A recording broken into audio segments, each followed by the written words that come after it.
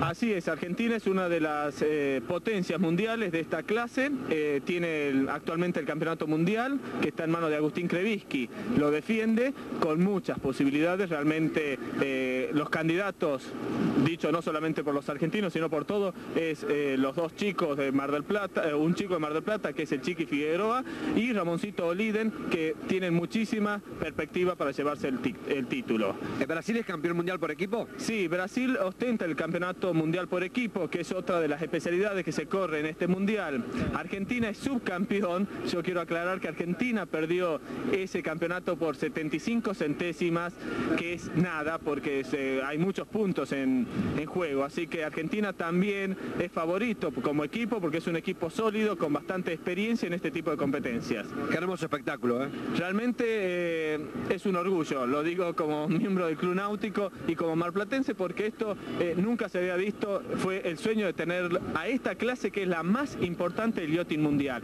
Quizás a nivel de una Copa América porque de aquí salen los grandes timoneles de todas las demás clases. Sergio, ¿el mar está bien para correr? Hoy es un día realmente espectacular. Hoy recién comentábamos aquí en este brazador crucero que nos está llevando en esta recorrida que hasta el clima se dio cita para esta fiesta.